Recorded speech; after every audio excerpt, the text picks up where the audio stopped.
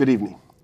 You probably know BPA from her breakout role in plastics in the 1960s, though recent stricter regulations have brought our attention to her other major roles, like can liners, receipt paper, CDs, construction epoxies, dental sealant, and more. She increases risk for breast cancer, prostate cancer, and is linked to early puberty, obesity, and diabetes.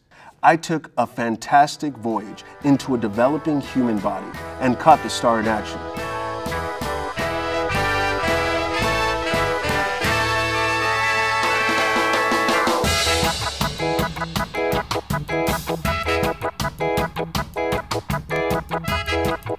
Thank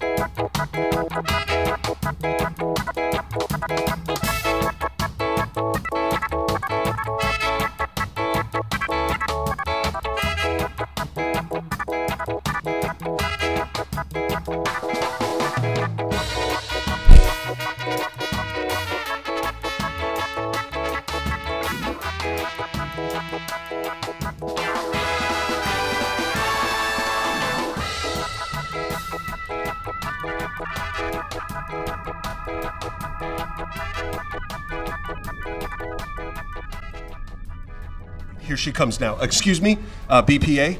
That was quite an impersonation of estrogen. You almost had us all fooled. Uh, yeah. I impersonate hormones and I do it often. I am in 93% of people tested. I am just that kind of girl. Uh, I, I see. Uh, well, do you think that the viewers at home should be concerned over your health risks? Yes. You know, you are increasing your risks of infertility just by standing next to me? Let me see. Decreasing the quality of your sperm. Oh, and keep an eye out for my sister BPS. I taught her a lot about endocrine disruption. Cut.